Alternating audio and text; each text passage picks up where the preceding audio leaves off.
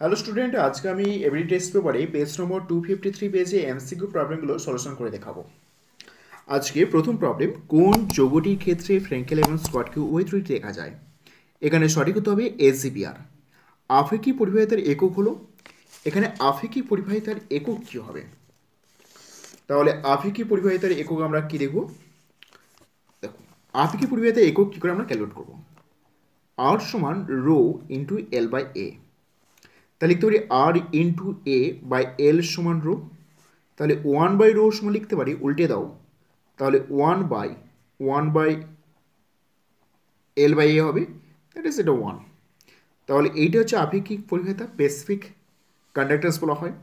তাহলে one by আর মানে ohm, আর উপরে সেমি থাকবে, নিচে সেমি স্কোয়ার তাহলে আসবে ওহম সেমি ইনভার্স ওহম ইনভার্স সেমি ইনভার্স এটা আসবে তাহলে এখানে রাইট আনসার হবে অপশন বি কারণ ওহম ইনভার্সকে আমরা উল্টে করে লিখতে পারি, মো লিখতে পারি সেমি ইনভার্স অর্থাৎ অপশন বি এখানে রাইট একটি প্রাকৃতিক বৃহত্তম বৃহদানবিক কলেট হলো কী হবে starch starch is right answer এখানে স্টার্ট হয়ে গেছে স্টার্চ হবে, এটা চ হবে। তারপরে H two S two weight যোগে সালফারের জারণ সংখ্যা কত?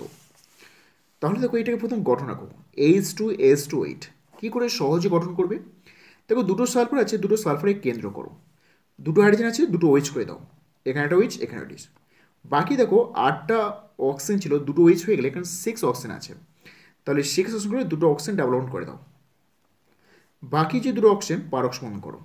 তাহলে দেখো, এখানে একটা অক্সিজেন ছিল, oxygen minus one sulphur plus one এখানে একটা বন্ড টানছে, তাহলে প্লাস ওয়ান এটা মাইনাস ওয়ান এখানে অক্সিজেন দুটো বন্ড দিয়ে টানছে, তাহলে অক্সিজেন মাইনাস টু হলে সালফার হবে প্লাস টু এখানে অক্সিজেন দুটো দিয়ে টানছে মাইনাস টু হলে সালফার হবে প্লাস টু তাহলে এ অক্সিজেন প্লাস টু এ অক্সিজেন প্লাস টু এ অক্সিজেন মাইনাস ওয়ান এ অক্সিজেন মাইনাস ওয়ান তাহলে হবে সালফার প্লাস সিক্স চারণ স্তর তাহলে হবে সালফার প্লাস সিক্স চারণ স্তর কারণ দুটি ডাবল বন্ডের জন্য প্লাস প্লাস টু করে, আর দুটি সিঙ্গেল বন্ড অক্সিজেন জন্য মাই সিঙ্গেল অক্সিজেন জন্য প্লাস ওয়ান করে।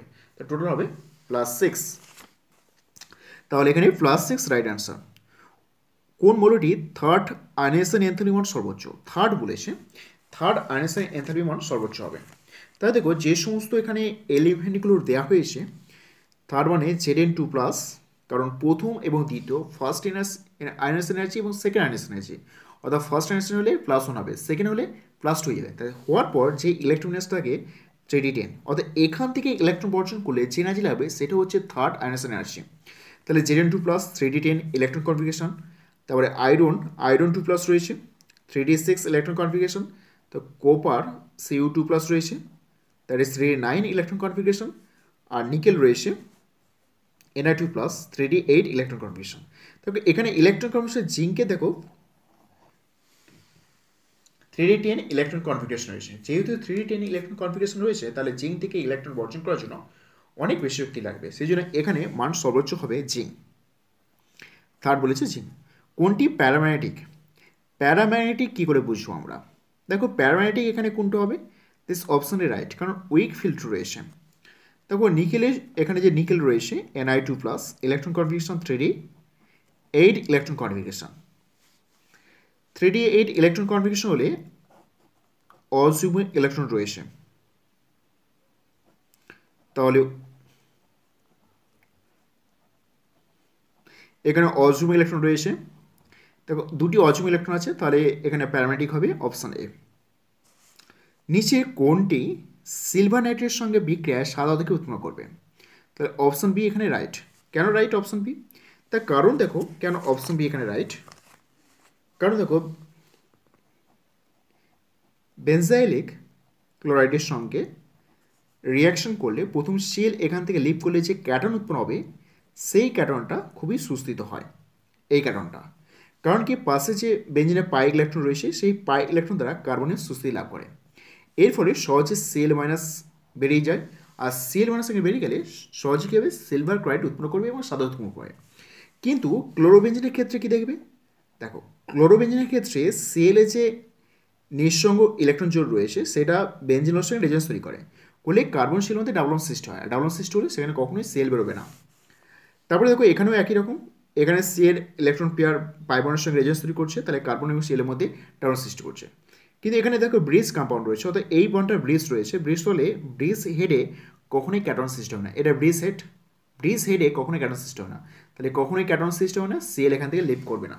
তো অপশান বি এখানে রাইট তারপরে প্রশ্ন রয়েছে, এই অ্যালকোহলকে এইচবিআ দিয়ে রিয়াকশন করতে হবে, তাহলে কী হবে? দেখো, এই অ্যালকোহলটা রয়েছে, এখানে সেজ ওইচ এখানে সেজ থ্রি তো এইচবিআ দিয়ে রিয়াকশন করলে কী করবে তাহলে এইচ প্লাস দিয়ে রিয়াকশন করলে এখানে রিয়াকশনের প্রোডাক্ট আসবে বন্ড সিএস থ্রি এখানে ওইচ টু প্লাস তাহলে এই প্লাস হলে ওয়াটার এখানে এলিমিনেশন ঘটবে?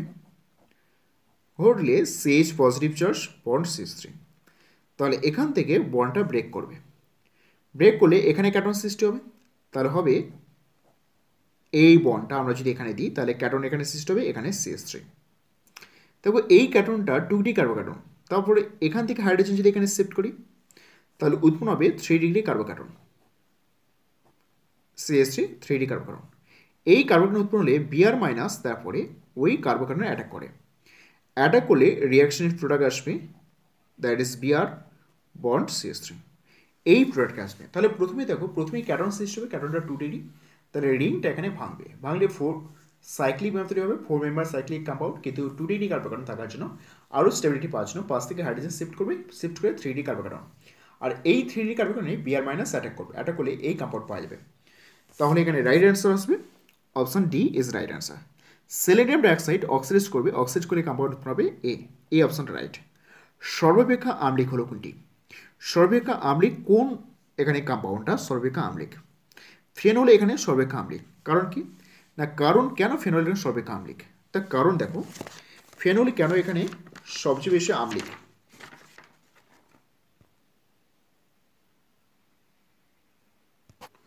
ফেনল কেন সর্বাপেক্ষা আমলিক?